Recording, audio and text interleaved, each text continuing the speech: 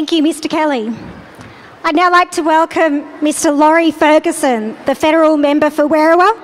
Thank you for coming out here on a Sunday and supporting us, and thank you for being a friend to the Coptic community. Please make Mr Ferguson welcome.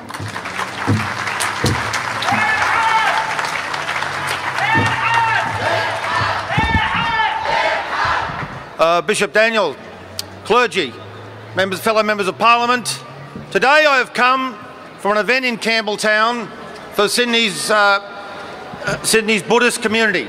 Thousands of people at their temple in Campbelltown. That is the reality of Australia, it's the reality of what we are speaking about today. In Egypt, of course, we know that historically Christians cannot build churches without presidential approval. This is not the reality of Australia.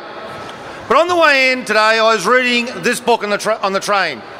It talks about the last great period of American cinema when they made Taxi Driver, Mean Streets, Chinatown, and Klute.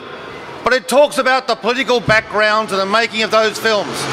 And I think that President Morsi has learned something from the most immoral president of the United States, Richard Nixon. In 1970, Nixon was facing increasing questioning of the war in Vietnam. 500 troops were there, but they knew they couldn't win. The nuns, the priests, the academics, the American people started to turn against the war. His strategy was to describe his opponents as all supporters of North Korea, all of them communist. Today in Egypt, we see that President Morsi and his Confederates say that 60% of demonstrators seeking democracy in Egypt are Copts. That is not true.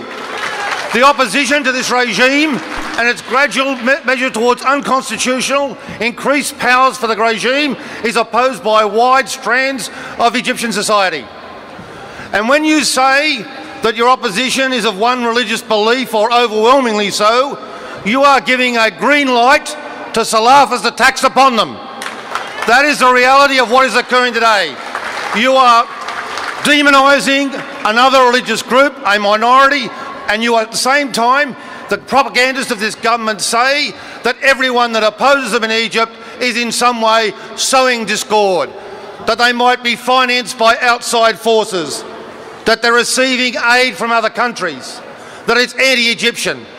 So when, the, when they say that they have no way of controlling these Salafist attacks on St Mark's, individual attacks throughout the country, there might be some credibility in saying that he can't totally control the police force. But if that's the case, if, it, if they've got no connection with that, then they wouldn't be appointing Safwat Higazi, who was banned in Britain in 2009, to the National Council for Human Rights. We have seen President Morsi on platforms with him, associating with him.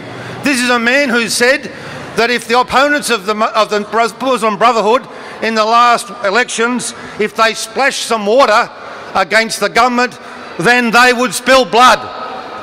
That was the, the, the remark they made. The same gentleman, there has also been interesting surveys by some people of what the current government, the Muslim Brotherhood, what they say in Arabic and what they say in English. The message they give to the Western world is in sharp contrast to the religious bigotry that they publish in Arabic. And this is something that the Western world must be aware of.